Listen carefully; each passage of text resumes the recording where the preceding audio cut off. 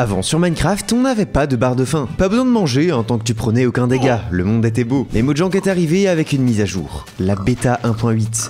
L'une des plus controversées, vous allez voir. Les joueurs ont détesté, il y avait besoin de manger toutes les 30 secondes et surtout attendre plusieurs minutes pour se régénérer. C'était comme enlever un super pouvoir à quelqu'un qui avait toujours vécu avec. Quand tu t'es habitué, c'est très dur de passer à autre chose. La nouvelle génération du monde a également beaucoup frustré la communauté en bêta 1.8. Là en haut, c'est un paysage de Minecraft avant et en bas après après la bêta 1.8. Le terrain est beaucoup plus plat et lisse dans la version la plus récente. La génération du terrain a complètement changé en ajoutant au passage plein de biomes. La barre de fin par contre elle est restée, mais elle a beaucoup changé, elle a été corrigée bien après. Mais malgré ça, il y a encore des gens qui préfèrent l'ancien système. Certaines personnes jouent encore dans des versions pré-bêta 1.8 comme la bêta 1.7.3 qu'ils considèrent comme la vraie version de l'ancien Minecraft. En voyant mes commentaires, on se dit que c'est loin d'être la plus controversée actuellement. Maintenant, dis-moi ce que c'est en commentaire pour toi la pire version du jeu et abonne-toi, on rush les 50k.